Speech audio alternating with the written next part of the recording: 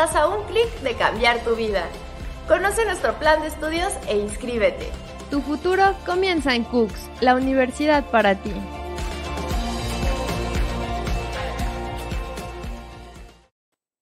Hola, hola, ¿qué tal? Buenos días a todos. Buenos días los que se están conectando en casita, en su celular, en alguna computadora, que nos empiezan a ver. Muchas gracias por conectarse a esta universidad, a la Universidad Cooks. Yo soy el doctor Jesús Ramírez, soy profesor en psicología, terapeuta, y esta vez estoy muy, muy contento porque me invitaron a dirigir las prácticas de los estudiantes. La Universidad Cooks eh, está siempre a la vanguardia de querer eh, impulsar a los jóvenes a que tengan actividades verdaderamente eh, enfocadas al aprendizaje, ¿no? Y esto es parte de ello, ¿no? Los jóvenes que tenemos aquí son unos jóvenes que están en la carrera de psicología, eh, vale mucho la pena escucharlos, se están preparando para el mundo real, porque nosotros nos hemos dado cuenta durante los años y sabemos esto, que es necesario que se, se, se, preparen, que se enfrenten con una realidad. A veces salen los jóvenes de las universidades y nos enfrentan a las prácticas, a hablar en público. Y bueno, nosotros estamos muy enfocados porque ellos salgan muy bien preparados de nuestra universidad, que se vayan, como decimos en casa, que se vayan fogueando, que se vayan siendo este, mejores estudiantes cada día. Y hoy, hoy tenemos un tema muy, muy bueno con eh, eh, los chicos de psicología que ahorita les voy a presentar. Es el manejo del duelo al terminar una relación. Pero antes de hablar del tema, eh, quiero presentarles a, estas tres chicas y a este chico que son maravillosos. Déjenme decirles que son estudiantes increíbles, que eh, dan su corazón también por estudiar, por tratar de ser mejores. Y bueno, qué mejor que la universidad nos presta, nos, nos deja hacer estos espacios en vivo en, su, en la plataforma porque hay que enfrentarnos, ¿no? Hay que enfrentarnos y muchas gracias a la universidad por hacer estas cosas para los chicos. Déjenme presentarle a los chicos, vamos a empezar por el, el único hombre que está aquí y es Octavio Sánchez. Hola Octavio, ¿cómo estás? Buenos días. Buenos días, profesor, buenos días a todos los que nos ven. Muy bien, yo estoy muy bien, ¿y ustedes cómo están? Muchas gracias, muchas gracias. Fíjate que estamos bien, estamos echándole muchas ganas en esta, en, en, en esta, pues en esta vida, ¿no? Sabemos que hay una pandemia, no, no es algo que podamos no evitar no decir, pero ha sido muy difícil tanto nosotros, porque por eso mismo estamos haciendo estas cosas en línea, ¿no? Por eso mismo hacemos estas cosas, porque también hacemos cosas presenciales, pero por cuestiones de salud no lo hacemos, ¿no? Tenemos también a Aleida Vallejo. Hola, Aleida, ¿cómo estás? Buenos días. Hola, profesor, buenos días. Buenos días a todos los que nos están acompañando en este live. Un saludo. Un saludo.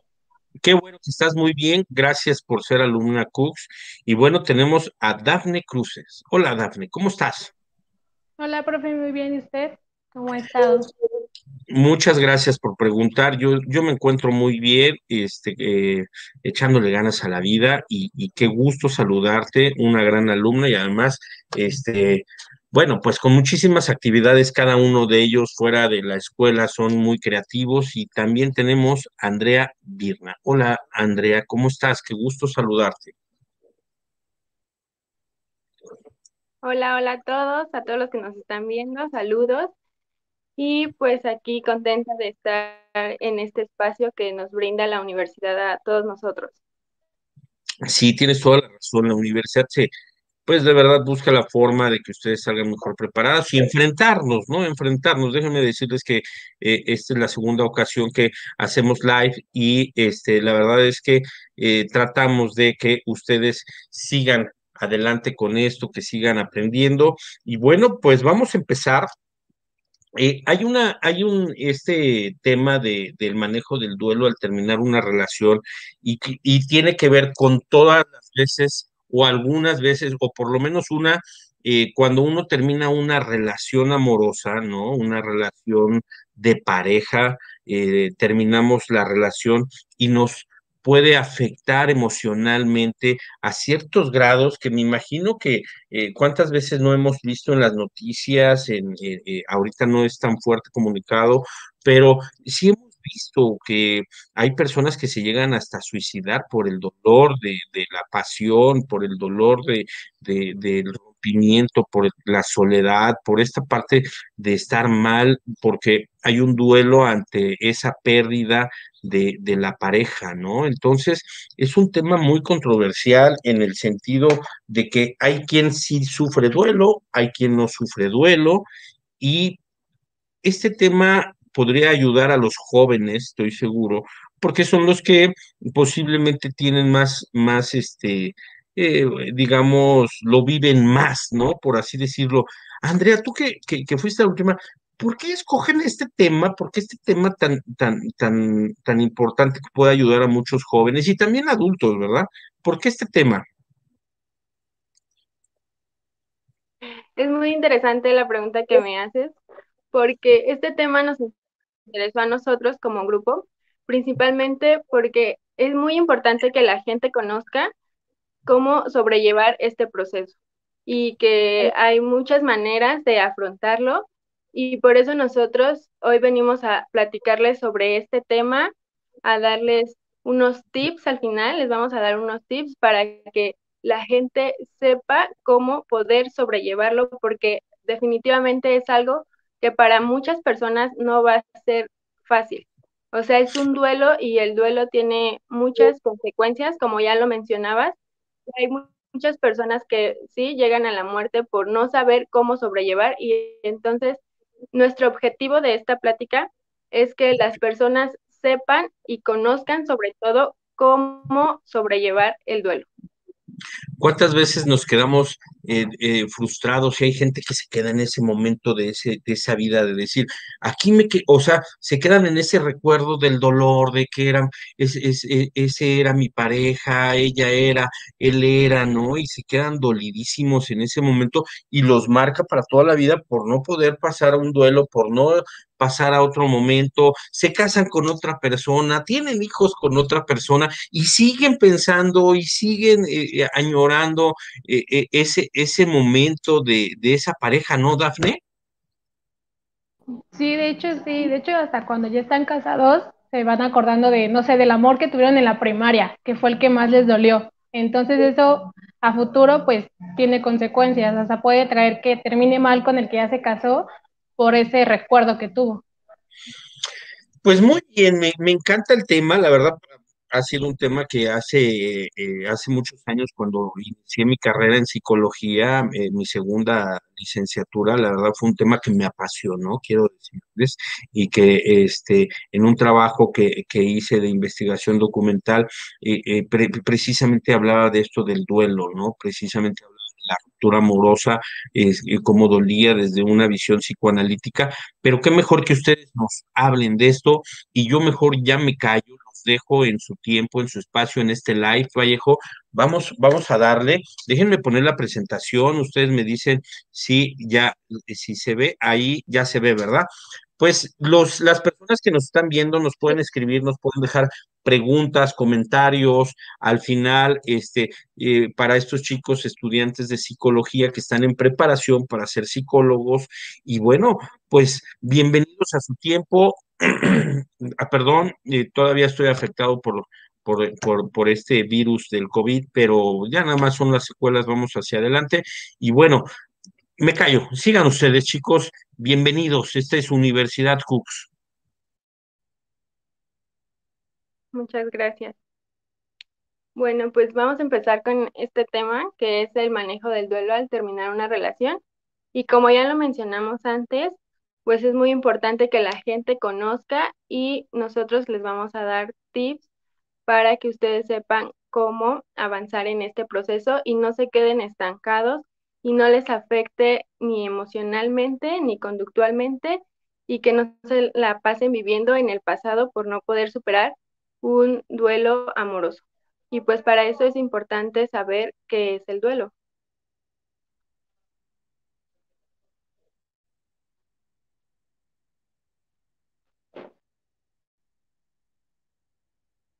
Supera un fin en un momento específico de nuestra vida, como la más común es la muerte de alguien, ya sea pues este familiar, conocido, amigos, incluso en pareja, eh, la pérdida de trabajo.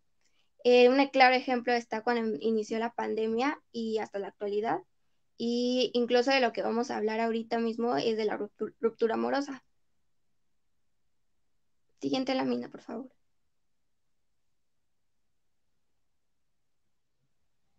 Sí, bueno, antes de hablar de la ruptura amorosa, creo que es importante para entrar en contexto con este tema, saber qué es una relación. Y la relación de pareja, bueno, en, en, en términos generales, relación significa ser correspondido o tener conexión con otras personas. Pero la relación de pareja se caracteriza porque hay un vínculo que une a dos parejas. Este vínculo es sentimental y sexual.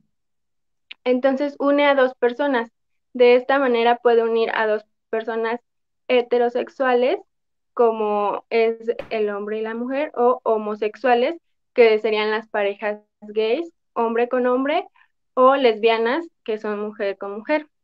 Dentro de lo que se entiende como la relación de pareja aparece el noviazgo y también está el concubinato, que es cuando las personas, la pareja vive junta pero no está casada y pues finalmente el matrimonio, que es cuando ya están casados. Siguiente, por favor.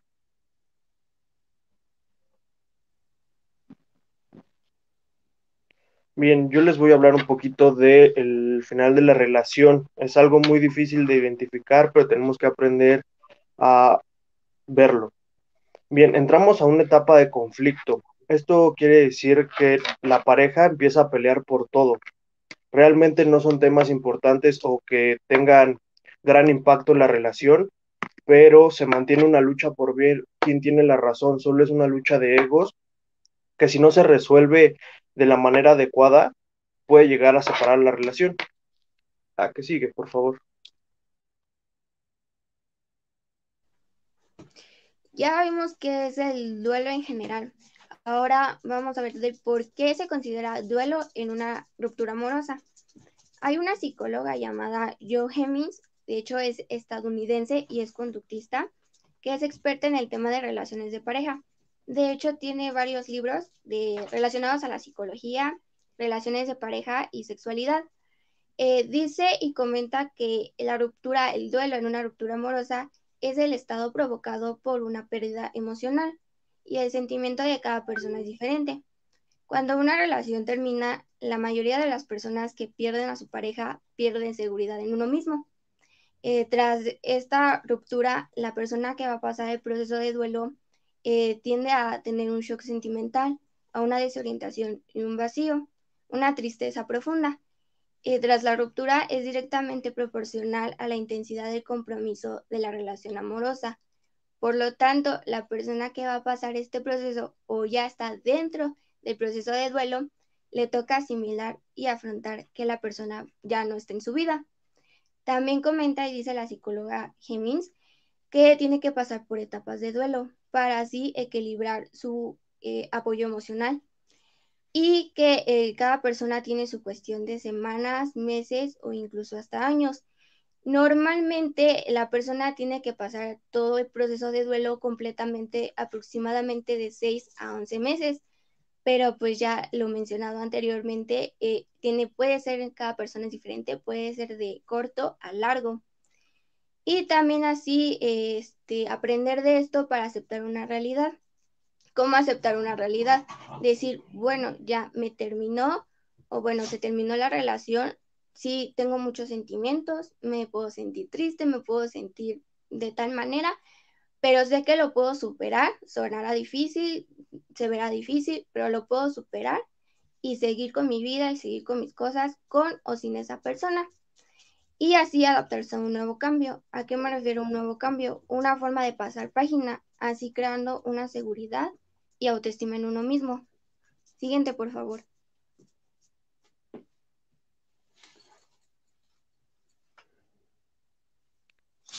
Sí, como lo mencionaba mi compañera Leida, pues las rupturas amorosas se viven diferente para cada tipo de persona. Es una vivencia totalmente individual y eso va a depender de distintos factores.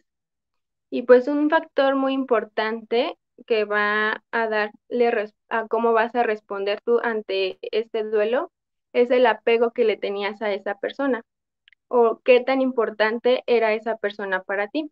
Mientras más importante era esa persona para ti o más apego le tenías, el duelo vas, lo vas a vivir de una manera más intensa, ¿no? Eh, las respuestas del duelo son en tres, son emocionales, se viven a través de pensamientos y también por conductas. Y los factores que van a influir en estas respuestas van a ser quién finaliza la relación, porque no es lo mismo que tú seas quien tome la decisión, que, que tú seas quien ya haya pensado en decirle a la persona, ¿sabes qué? Ya no quiero ser tu novia, ya no quiero estar contigo, a ser la otra persona que te diga a ti que ya no quiere estar contigo. Entonces cambia totalmente la situación. Otro factor que influye mucho es el motivo de la ruptura, ¿no? Porque no es lo mismo eh, romper con tu pareja porque ya no la quieres, porque ya no sientes atracción por ella, que romper con tu pareja porque descubriste un engaño o una infidelidad. Otro factor también son las características de la relación. En las características de la relación, pues entra lo que viene siendo el tiempo de relación, ¿no? No es lo mismo terminar una relación que apenas va empezando y que ya no funcionó, a terminar una relación que a lo mejor ya llevan 20 años de estar juntos y de repente pues todo eso se termina. Y por último están las circunstancias vitales, porque pues hay parejas que ya tienen hijos y pues este, obviamente los hijos los van a seguir uniendo y van a tener, eh, siguiendo con el contacto que antes tenían por los hijos, pero también eh, depende mucho de cómo estabas con esa persona en el aspecto económicamente, porque puede ser que tú dependas de esa persona económicamente o que la persona dependa de ti económicamente. Y pues estos son los factores que van a influir en cómo va a ser tu respuesta ante esta ruptura amorosa. Siguiente, por favor.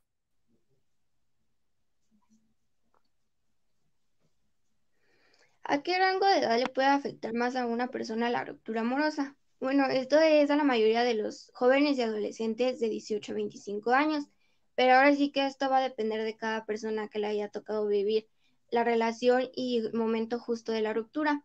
¿Por qué? Porque cada experiencia es diferente, desde el tipo de vínculo, los sentimientos, la duración y el ciclo vital que se está atravesando. Un ejemplo simple desde un enfoque vista por un adolescente que tuvo su primera o segunda ruptura amorosa afectará más por la experiencia. Diferente vista en un enfoque vista por una pareja de casados con mayor duración y el tipo de vínculo afectará mucho más igual por la vivencia. Ahora sí que es de cada persona cómo vivió durante su relación y al momento de la ruptura y cómo mm, sobrellevó o manejó eso. Siguiente, por favor.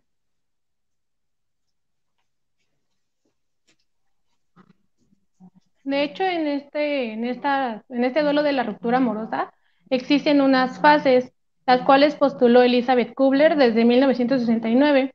De hecho, ella presenta esas cinco fases en un libro que ella escribió que se llama Sobre la muerte y el morir. En la primera fase tenemos la negación. En la negación se caracteriza porque comienza a negar la realidad. Hace como un tipo mundo en su cabeza, como de, no, yo nunca terminé con esta persona, yo sigo con ella, y busca las maneras de sentirse como en protección para no asimilar todo lo que le pasó. En la segunda fase tenemos la ira. En la ira se empiezan a tener sentimientos perdón, de frustración y de impotencia. Obviamente la persona se comienza a sentir en una como reclamación continua, como de no, es que yo tuve la culpa, yo tuve celos y por eso me terminó, yo hice esto, yo hice aquello. Siguiente, por favor. En la tercera fase tenemos la negociación.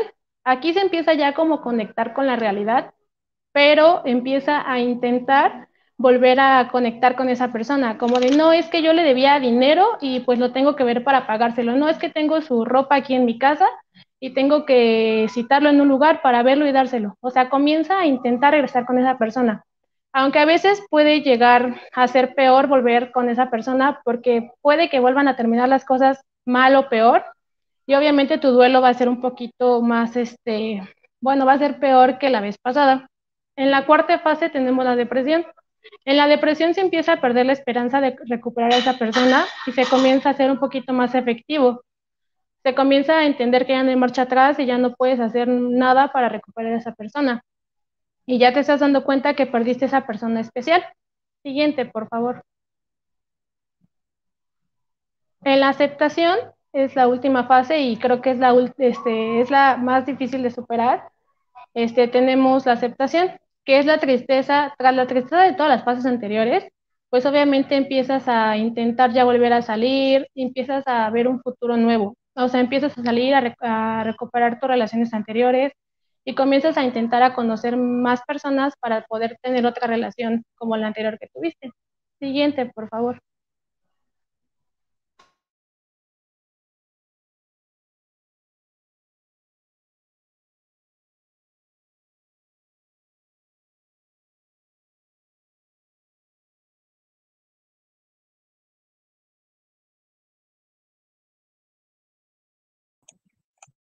Micrófono está desactivado, Andrea. Este, ¿podrías empezar? Es que no te escuchamos nada. Sí, perdón. Les estaba diciendo que en el duelo amoroso hay muy pocas investigaciones, pero que casi todas las investigaciones se basan más al duelo por una muerte.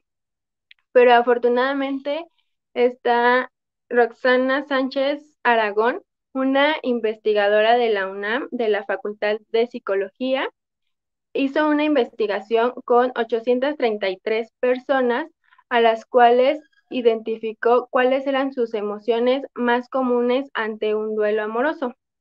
Y pues dentro de las emociones más comunes que se vieron durante esta investigación son la frustración, la decepción, la impotencia, pero también se vio que había emociones de alivio. Y es que muchas personas no pasan por el duelo de una separación amorosa, porque hay personas que están con su pareja, pero ya no sienten nada. Entonces, cuando, cuando termina la relación, pues no es necesario que pasen por un duelo porque ya no sentían nada por esa persona. Y pues recuerden que el duelo va a ser algo significativo que la persona está perdiendo, pero si la persona ya no sentía nada por su pareja, pues entonces no va a ser un duelo como tal, o sea, no lo va a vivir como tal y pues muchas personas no pasan por este duelo. Y la siguiente, por favor.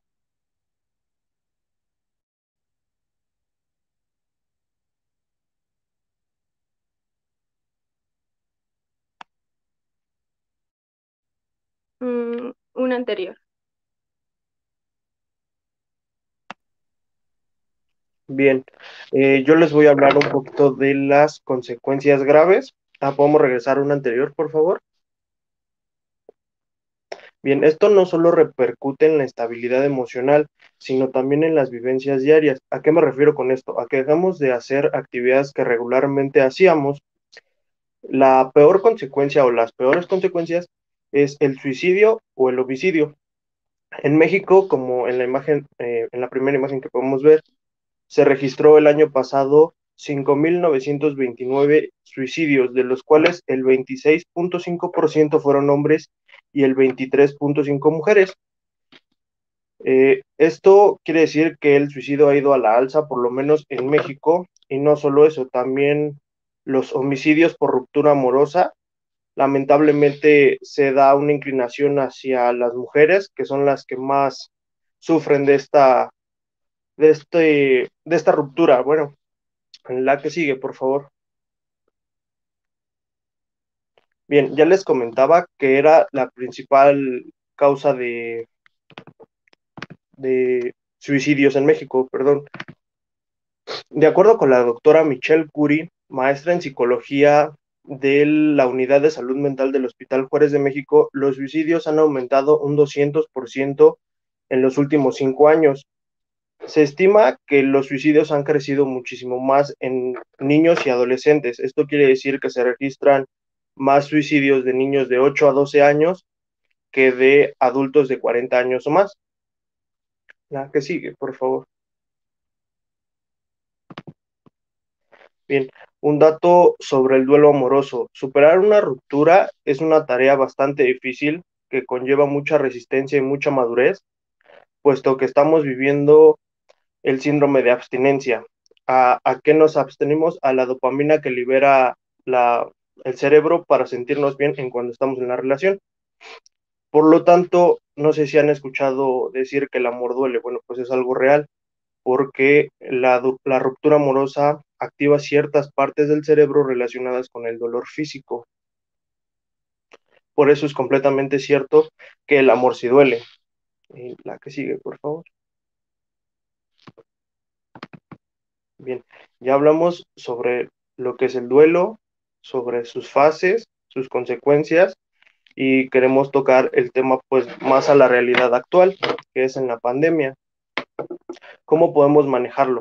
Bueno, primero tenemos que estar cerca de nosotros mismos, aprender a querernos, a cuidarnos a nosotros, consentirnos y aprender a querernos, más que nada. El segundo punto es acudir con tus seres queridos para, la, para contención y afecto. Eso quiere decir que busques ayuda, que el saber que estás acompañado y que alguien te apoya hace mucho más fácil eh, la superación del duelo. El tercer punto es aprender. Este es el punto más importante, porque tienes que aprender qué si te gusta, qué no te gusta, cómo es la persona que buscas, cómo es la persona que no buscas y si estás dispuesto a tener una relación como la que acabas de terminar. En la siguiente diapositiva tenemos un video que nos gustaría que nos comentaran para saber sus puntos de vista y dialogarlo.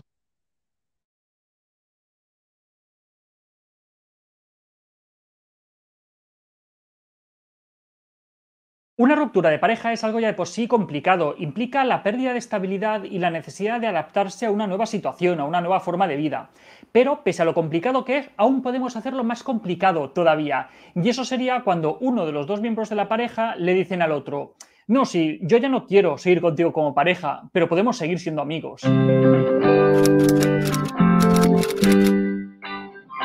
Cuando acaba una relación de pareja, la mayor parte de ellas suelen decir que ha sido algo de mutuo acuerdo, que los dos lo han decidido, pero en realidad lo que sucede es algo muy distinto y es que en la mayor parte de las situaciones es uno de los miembros de la pareja quien toma esa decisión de manera unilateral. Quiere romper con esa relación conjunta y seguir por su propio camino, y en ese momento se lo comunica a la otra persona. Tanto una relación de amistad como una relación de pareja se caracterizan porque son relaciones simétricas. Esto quiere decir que ninguno de los que participan de esa relación tiene poder sobre el otro.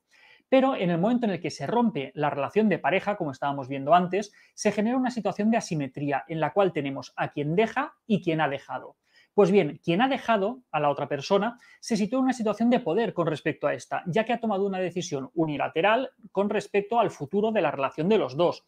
Entonces tenemos a uno que se sitúa por arriba y otro que se sitúa por debajo. Uno que toma las decisiones y otro que tiene que acatar las decisiones que esa otra persona ha tomado. Para que esta transición de pareja a amistad se pueda producir, o al menos se pueda producir de una manera positiva, va a ser necesario tiempo, porque pasar de una relación asimétrica a una relación simétrica no se puede producir de la noche a la mañana va a requerir que tanto un miembro como el otro de la pareja se adapten a una nueva situación, acepten un nuevo rol que les ha tocado desempeñar en esta situación y pasado el tiempo enfrentarse nuevamente a mantener una relación distinta con quien hasta ese momento había sido su pareja.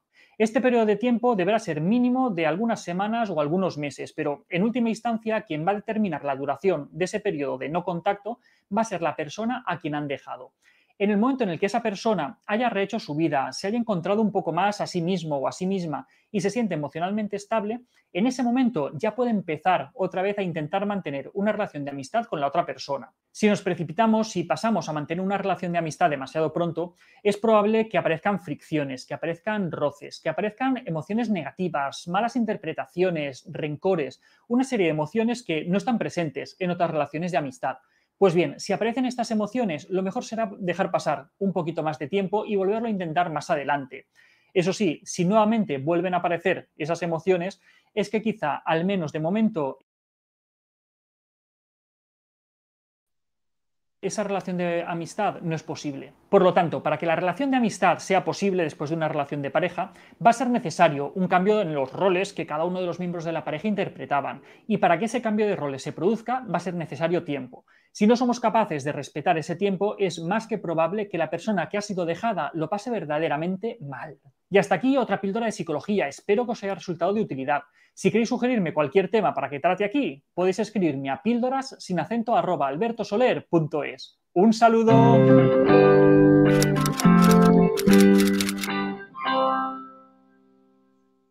Bueno, yo aquí quiero comentar algo y como un dato y para que estén eh, enterados. Eh, y respecto al video, y ya visto en el video, mantener una amistad con tu expareja tiene sus pros y sus contras. Quiero comentarles que hay un estudio, hay una investigación realizada por un grupo de psicólogos en la Universidad de Kansas en Estados Unidos, que han sugerido que alrededor del 60% de las personas deciden mantener una relación después de la ruptura. Los psicólogos escribieron cuatro razones por las cuales una persona decide seguir siendo amigo de un ex. La primera es por seguridad, para tener, seguir teniendo eh, el apoyo emocionalmente de un ex, el asesoramiento o la confianza. La segunda razón es porque hay un apoyo económico o hay niños involucrados. La tercera, ahora sí, es para no lastimar los sentimientos de la otra persona y sonar pues cortés. Eh, la cuarta y la última es porque aún se sigue teniendo sentimientos con un ex. Como conclusión afirman que no siempre estas amistades son bien acertadas, que varía de cómo terminó la ruptura y cómo se llevó a cabo la madurez de ambos lados. Y también depende de cómo funcionan las amistades cuando no se tiene ningún tipo de sentimiento.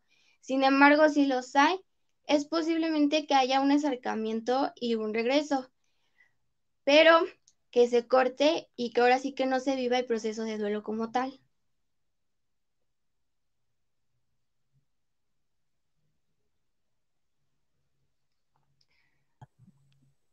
Así es. Y pues ahora nuestro último, para cerrar con broche de oro, pues vamos a decirles algunos tips para superar este duelo, que es la última diapositiva que tenemos. Y pues bueno, el primer tip y uno de los más importantes es que trabajes en tu autoestima. Pero, ¿cómo vas a trabajar en tu autoestima? Pues tu, auto tu autoestima lo vas a trabajar por el autocuidado y pues van a ser pequeñas cosas que van a, marcar un cambio en tu vida para continuar eh, con el duelo de una manera más fácil. Y pues un primer consejo es, es hacer ejercicio, porque el hacer ejercicio va más allá de lo físico. Hacer ejercicio también involucra lo emocional, porque cuando estás haciendo ejercicio, liberas sustancias, liberas serotonina y esto te permite sentirte bien, ¿no? Puedes hacer ejercicio por lo menos tres veces a la semana, ¿no? O si ya eres una persona que haces ejercicio, pues aumentarlo. Otra parte muy importante es que tienes que dormir bien. Dormir al menos ocho horas. Es muy común que por esta situación de un rompimiento te dé mucho sueño o tengas mucha pesadez, pero no, no te aconsejo que duermas mucho o que duermas muy poco. Simplemente lo que tu cuerpo te pide y pues unas ocho horas es lo ideal en que debe dormir una persona. Y otra cosa para tu autocuidado es comer bien. Es una de las más importantes que debes de hacer y todas estas en conjunto pues van a hacer un cambio en tu vida, no simplemente durante el duelo, sino en general. Otra recomendación, y mencionando un poquito lo anterior a mi compañera Andrea, no necesariamente se tiene que crear nuevos hábitos, se puede también este, recuperar viejos pasatiempos, ya mencionado desde un buen ejercicio, actividades que disfrutabas incluso antes de la relación y poder volver a explorar lo que te gusta. Y una más importante y la principal antes que todo es evitar mantener el contacto con tu expareja, y evitar esos recuerdos que pueden llegar otra vez al estado de tristeza, con el fin de mantener un espacio para uno mismo y mayor recuperación. Y respecto a las redes sociales, todo tiene su ventaja y desventaja. Sin embargo, no hay que sentirse mal por lo que la otra persona pueda poner. Sin embargo, si se llega a pasar o se llega a pensar que la otra persona pueda poner algo con intención de perjudicarte, pues absolutamente se bloquea a esa persona. Y sí, otro consejo que yo les puedo dar es mantén aumenta tu círculo social. Sal con amigos, compañeros de trabajo, sal hasta con tu familia, o sea, no te quedes encerrado en un lugar. Tú sal, diviértete, distráete. Otra, otro tip que yo les puedo dar es exprésate. Si tienes ganas de llorar, llora, si quieres gritar, grita, si no te sientes a gusto como estás, saca todo lo que tengas y no te quedes con ningún sentimiento, porque eso a futuro te puede perjudicar un poquito más.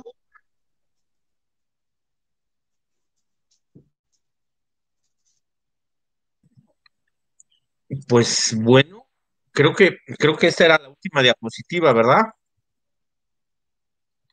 Bien, me, ha encantado el tema. Hay muchos comentarios y este, vamos a verlos. ¿Qué les parece, chicos? Si vemos los comentarios, la verdad es un tema muy padre. Y, nos ponen por aquí Bere Espinosa, éxito. Muchas gracias, Bere. Este, eh, Fernanda Martínez, éxito. Gracias, Fer. Un abrazo. Este, por acá nos ponen, eh, buenos días, éxito, Tropical Vallejo. Muy bien, muchas gracias. Eh, nos ponen también, gran tema, muchas felicidades. Este, luego, déjenme ver. Aquí hay una pregunta que me gustaría yo, si me permiten invitar, si me invitan tantito a responder. Eh, aquí miren, esta dice, se ven bien guapas, chicas, muy bien. Y esta pregunta me gustaría contestarla, si me dan permiso. Dice, ¿qué pasa cuando es codependencia? Bueno, a mí sí me gustaría ayudarles a aclarar este, este tema. La, codependencia es una, mm, digamos que una, una persona es dependiente al alcohol o a las drogas o es dependiente de algo. Eh, lo que es codependencia es que una segunda persona se vuelva dependiente en sus tiempos a la persona que, eh, que tiene este problema de drogadicción. Voy a ponerlo como un ejemplo. Cuando eh, vamos a pensar que un chico es dependiente o un señor es dependiente al alcohol, ¿no? Y eh, su mamá, vamos a pensarlo así, deja de hacer sus cosas, deja de ir a trabajar, está más preocupada por eh, el alcoholismo del hijo, esa persona, esa mamá, eh, se vuelve codependiente a el alcoholismo. Esto alguna vez lo vimos en clase, ¿no? no es que uno y otro, por ser dependiente y este dependiente, sean codependientes, ¿no? Uno es dependiente de alguna droga y, otro quiere salvarlo de esa droga o eh, este, eh, se involucra demasiado, tan es así que deja de ir a trabajar porque su hijo no se vaya a tomar, eh, deja, descuida todo lo que hace por ir a, este a ayudar. Esto lo, esto lo, lo viene de los grupos de Alanón, ¿no? Hay un texto que se llama Ya no seas codependiente. ¿No? En este sentido. Yo me imagino que eh, este, la idea, bueno, obviamente para eso estudiamos psicología, pero la idea precisamente de eh, que tiene eh, las personas en general es que los dos están sumamente compenetrados este, y que no se pueden dejar, ¿no? En ese sentido, y dicen, ya es que estamos codependencia uno del otro, ¿no? son, son dependientes los dos, los dos son dependientes. Y bueno, ¿qué pasa? Pues eh, se hace mucho daño, ¿no? Cuando ya están así, mala relación y eh, ya explicando qué es codependencia, busquen este libro de Ya no seas codependencia, eh, este, es de grupos de Alanón, pero cuando estos, estos grupos, cuando estas personas dependen uno del otro, y depende porque creen que no se pueden quedar solos, se hace mucho daño, ¿no, Dafne? Profesor. De hecho, creo que es una de las cosas por las que sufre uno más.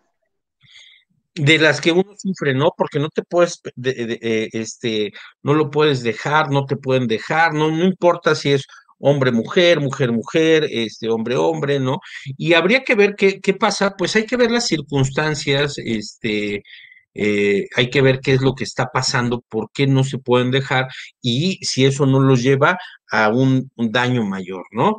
Dice aquí, eh, muchas, dice, Muchas felicidades, excelente tema. Muchas gracias, Isabel. La verdad, los chicos hacen un gran, gran esfuerzo y todos los chicos de psicología. A mí me encanta estar con ellos, la verdad. Este, hacemos las cosas lo más profesional o profesional que somos. Dice la maestra eh, Shelin Mora, a la cual le mando un abrazo muy caluroso, la queremos mucho, la, amamos, así como dice, como dice, la, te queremos mucho. Deberían de compartir su presentación posteriormente, está genial. Claro que sí, que la compartan, este, quien la quiera pedir, que la, la compartan, y la verdad es que, este, sí, hacen un gran esfuerzo los chavos, ¿no? Aquí hay otro, otro muy buen tema y más en estos tiempos de pandemia. Felicidad, felicidades, psicólogos en formación. Es correcto, están en formación y tocaron ustedes un tema muy importante que tiene que ver precisamente con eh, la pandemia, ¿no? Ahora que estamos en casa, eh, ya no es el mismo tiempo que antes me iba ocho horas a trabajar a la, universidad, ahora tengo que estar aquí en casa y la dinámica con mi pareja cambia. Y bueno, como este ejemplo, pues yo me imagino que en todas las casas ha cambiado, ¿no? Y empezamos a conocer a nuestra pareja de otra manera. No es que conozcamos a otra pareja, pero pasa así, ¿no? Y si, si hay muchas problemáticas de esto, ¿no, chicos?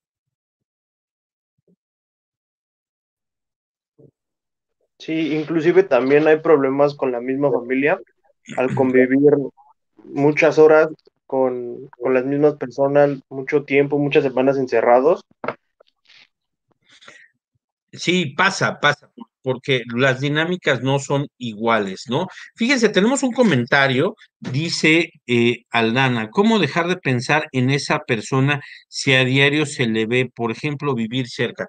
Bueno, número uno, eh, no, no se puede dejar de pensar en la gente, ¿no? Este, si, si hiciéramos un cortecito en tu cerebro y, quisiéramos quitar el recuerdo de eso, ve tú a saber si le atinamos y te quitamos otra cosa, que estoy diciendo algo ficticio que no se puede, obviamente, pero este, no, no se puede. Lo que sí te invitamos es lo que dieron los tips, eh, este, los, los chicos estudiantes en psicología, como por ejemplo, ponte a hacer ejercicio, ¿cuál otra se dijo? Acércate a tus amistades, porque pues tampoco ni modo que huyas. Yo me acuerdo de un amigo que tenía un tatuaje eh, este, de una novia y lo que hizo fue ponerse otro tatuaje arriba de ese tatuaje para que no se viera y luego decía, lo peor de todo es que sé que ese tatuaje que está ahí abajo, sé que existe, ¿no? Entonces, no vas a poder cambiar con eso. ¿Qué otro tip nos dieron eh, para estar mejor? Uno es acercarse a sus amistades, ¿no? Este, eh, a, tu núcleo social, acércate a él.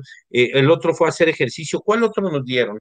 Incluso, sí, esto no siempre es fácil, cada persona tiene su tiempo, pero incluso si las emociones o las sensaciones son igual de dolorosas en un cierto determinado tiempo, eh, ya es necesario acudir a terapia para ver hasta dónde es problemático y para saber qué está pasando. Tienes toda la razón, ¿no? Fíjense que hay muchísimos comentarios. Me encanta que estén dejando muchísimos comentarios. Muchas gracias. Este dice, eh, déjenme ver, aquí estamos. Saludos a todos. Eh, aquí un, mensaje, este, un mensajito, también el rompimiento. Este está, este está aquí. Eh, también el rompimiento de amistades afecta, claro que sí, en este caso se tocó el tema de, de la pareja, pero es muy similar, ¿no? Este, es, esta parte es muy similar, eh, eh, Virna, cuando separamos la relación de pareja que una de amistad, ¿no? Sí, claro, en las dos relaciones pues se tiene un, un vínculo sentimental, obviamente es diferente, pero finalmente pues es un vínculo sentimental. Y pues igual te va a afectar perderlo, no de la misma manera, pero sí afecta dependiendo de qué tan cerca era esa persona.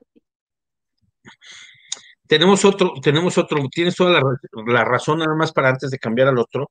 hay amistades muy, muy, muy grandes que se vuelven y que nosotros designamos que es hasta nuestra familia, ¿no? Le damos ese peso tan grande a ciertas amistades y claro que sí duele, ¿no? Claro que sí lastima, ¿no? Dice, éxito, buen tema, realmente es bueno tocar este tema. Hola, muchas gracias, gracias por los saludos, qué gusto saludarte, gracias. ¿Qué papel ocupa la costumbre en estos casos? Pues algunos de ustedes han estado en una relación con costumbre. Yo me imagino, yo me imagino que se quedan pensando en este sentido. La costumbre juega un papel muy importante porque hay que entender que todas las relaciones tenemos un cambio. No quiero decir que etapas, no quiero decir etapas, pero sí tenemos un cambio. Ya no es el, mismo, el mismo rol que jugamos cuando conocemos a alguien, a un rol distinto cuando y ya empezamos a hacer pues digamos, una vida junto a la persona o se vuelve más madura la relación en el sentido de que ya nos conocemos, empezamos a cambiar, a lo mejor ya no le abrimos la puerta del carro si es que tenemos carro o le damos la mano para que baje del camión o este, le abrimos la puerta de, algo, empiezan a cambiar los roles, ¿no? Entonces, eh, hay a veces la costumbre llega en el momento que no pasan a cierta o a, otra transición de la relación, ¿no? Y, qué, qué, pasa? Bueno, pues habría que ver en, dónde se están este, estancando. Bueno, por aquí mandan otro saludito. Soy tu fan, dicen por ahí. Este, ¿qué pasa cuando das una segunda, segunda oportunidad? ¿Te vuelves más vulnerable? ¿Ustedes qué creen? Pues no siempre te vuelves más vulnerable. Hay veces que te vuelves más fuerte, incluso empiezas a poner más. Ya se quedó, ya se, ya se quedó ahí, ya se quedó ahí trabado, ya se quedó trabado, pero este, pues yo quiero entender que no siempre, no siempre eh, eh, te vuelves más vulnerable. A veces bien dicen que la piedra angular del dolor también es el crecimiento, ¿no? Por aquí dice otro, dice, son maravillosos, se rifaron, dice, un tema muy completo, felicidades a todos, muchas gracias, la verdad es, reitero, ¿no? Este, los chicos hicieron un gran, gran esfuerzo, hacen un gran esfuerzo. Eh, eh, la carrera de psicología siempre estamos apoyando a los estudiantes y la Universidad Hooks también. Inscríbanse las personas que están en duda. Eh, están ya las inscripciones para septiembre todavía. Y bueno, siempre vamos a buscar la excelencia de los jóvenes. Tenemos un comentario más. Ahora que las relaciones son a distancia por la pandemia, nos ayuda a procesar el rompimiento. Gracias por los tips. Más bien, muchas gracias a ti por escribirnos y este es otro tema que en algún momento podríamos tocar porque las relaciones eh, se han vuelto eh, este puro WhatsApp, ¿no? Yo conozco personas que dicen, tengo, tuve una, una, una cliente en consultorio, los que no saben les decimos clientes a los pacientes, los que somos humanistas, y tenía una, una relación de seis meses, ya de seis meses, con alguien que solamente había visto una vez en su vida, ¿no? Y, y, sí se vuelve esta relación ya ahora vía internet, ¿no? Es mi novio de Colombia, es mi novia de, de Perú, bueno, vayan a saber de dónde, ¿no? Este, se empiezan a conectar y va a venir y hay como mucha fantasía e ilusiones, ¿no? Pues algo más que quieran agregar, ya vamos a, terminar el programa, algo más, este, Dafne. Pues nada más una cosa. Pues como ya vimos, pues les trajimos este tema porque pues quién no ha pasado por un rompimiento amoroso. Así como se fomentan las relaciones, pues también se debe fomentar qué tenemos que hacer después de la, que la relación termina. Porque pues como yo opino que no todo dura para siempre, entonces pues Espero que les haya servido este tema para poder sobrellevar sus futuros rompimientos amorosos. Muchas gracias. Algo para terminar, Andrea. Este, bueno, yo antes de decir quiero agradecer a las autoridades, a la universidad, a ustedes. Este, ¿algo más, Andrea?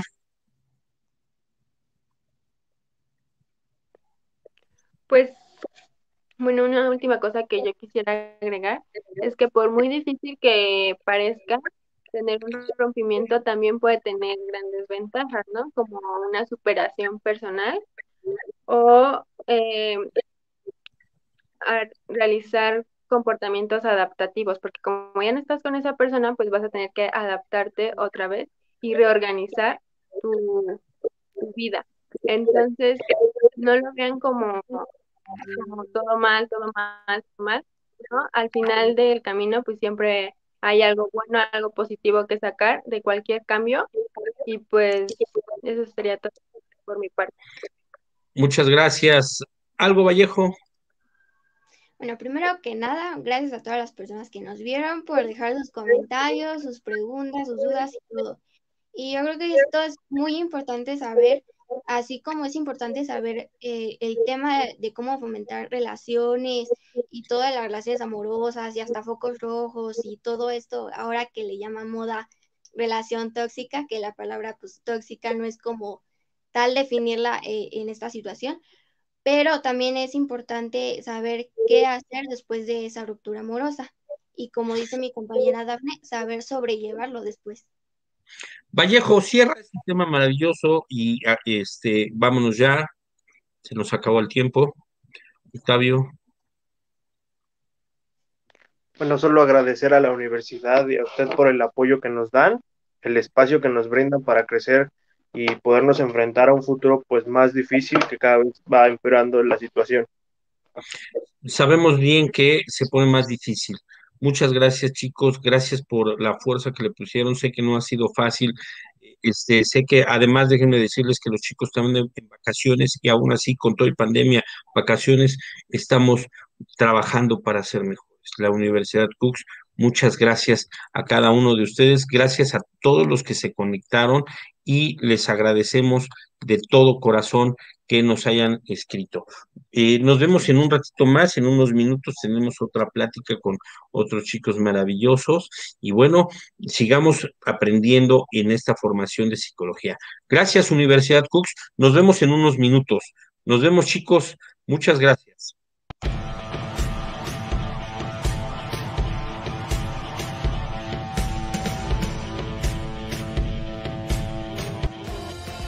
Hey, tú, no le des no scroll, scroll, estás a un, estás a un de cambiar, cambiar tu vida. Conoce nuestro plan de estudios, estudios e inscríbete. Tu futuro, tu futuro comienza, comienza en la universidad, la universidad para ti. Para ti.